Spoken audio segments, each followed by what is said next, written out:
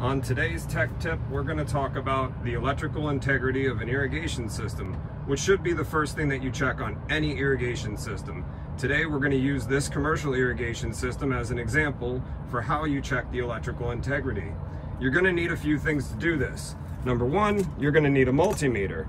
I have an Armada Pro 95i, which is a super fancy multimeter, but if you have any multimeter with that little ohm signal sim, symbol, wow, I can't talk this morning, on it, then it will do for exactly what we're trying to do here today.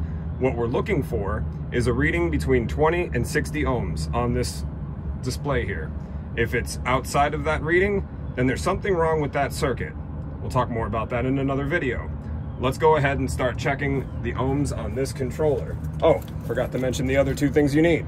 A pen and a piece of paper. In this case, I've decided to use a white piece of paper because I forgot the actual piece of paper I normally use for this process at the office. Also, anybody can use a white piece of paper. So let's go ahead and move forward. First thing I'm gonna do is clamp this sucker somewhere convenient.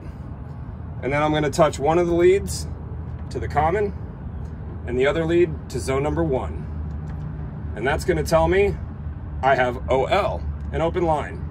So that means that this wire is not connected to anything in the field. Now this could be right in the junction box below my camera, or it could be somewhere in a junction box out in the field, or all the way at the valve, and maybe the wire is just disconnected at the solenoid. We go to zone number two, and we've got 34 ohms. This is a good circuit. If we turn on zone two, it should work.